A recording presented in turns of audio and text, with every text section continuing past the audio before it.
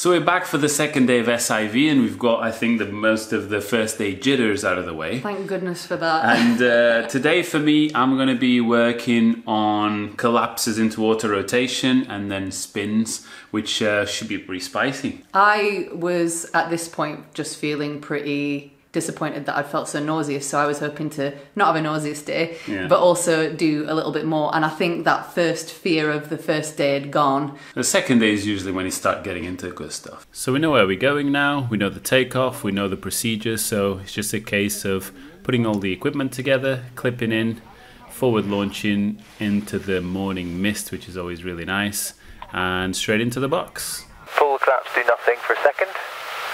You got a little rock back there, and that's turning you away, so lean right into the collapse. Make sure you've got no brake on the outside. So lean all the way in, try and turn back on your original heading. Oh dear. For that reason, to get into an auto rotation is quite difficult for my glider, so I need to do a little bit of a roll, then followed that by a big collapse input and weight shifting to the collapsed side, which is exactly what you shouldn't do. But we're trying to get to a point where we get a fully developed spiral, as if you had a cravat or a big collapse, and to see if we can be able to control it and pull out. Okay, let it build, let it build, look around, exit. a lot of the difficult things to get in are just to get to a point where we then can make things worse before we can make them better. So good job, that's what an auto rotation feels like. We didn't go into full on sat-like auto rotation, so It loses a lot of height in these things, so uh, the runs end up being quite short. So straight into some spirals with rapid exits. The timing was always wrong on it, so that was the thing that I was working on today. Okay, good. was also trying to concentrate on looking around a little bit more. Every time I did one, I looked in a different place. So I wasn't just looking at the wingtip, I was looking to the opposite side, to the sky, to the horizon. And this was to try and stop myself from feeling sick, which worked really well. Much better. Head towards the landing, please. So another thing that he had kind of debriefed us on in the classroom was um, trusting the harness more and trying not to let my legs and my arms go flailing all over the place.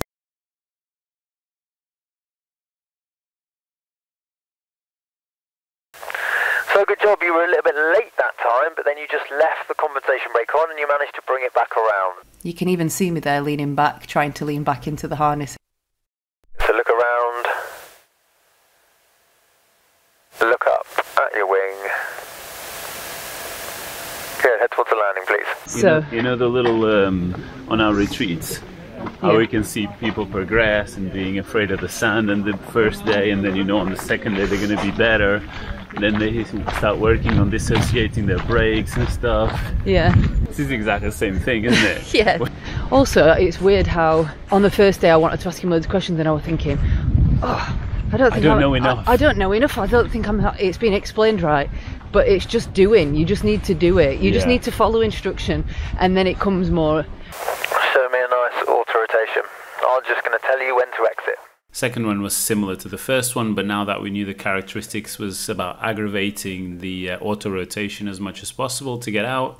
Uh, but these do consume a lot of height, so uh, I didn't manage to do that many.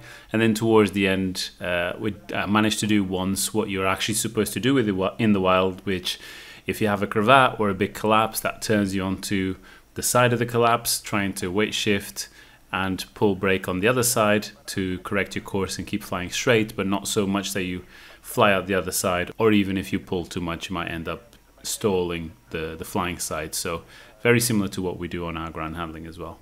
Let's pull a nice collapse and see what happens.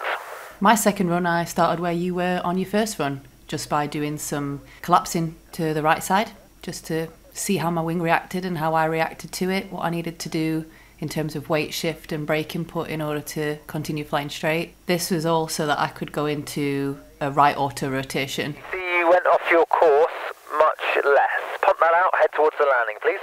I was actually surprised that these auto rotations didn't feel as violent as I'd expected them to.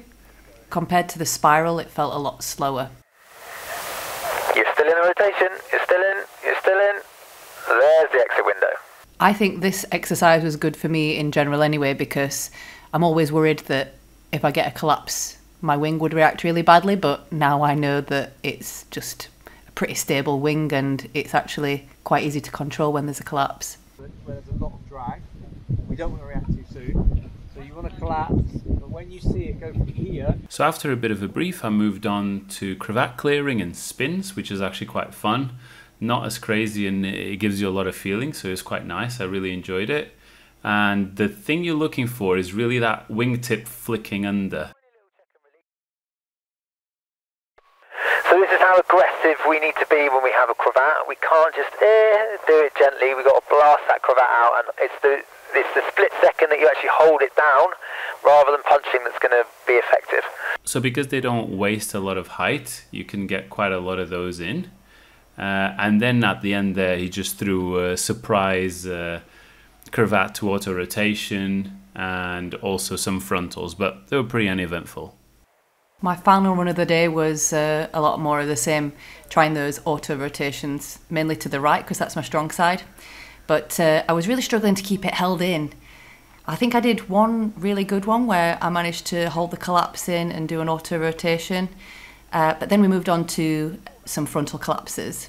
And again, that was quite uneventful, but still a good exercise for me because I'm always worried about that. Now it's in front.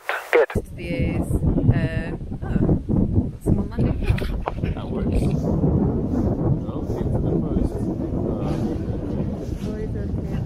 Yeah, we're going to need help with that.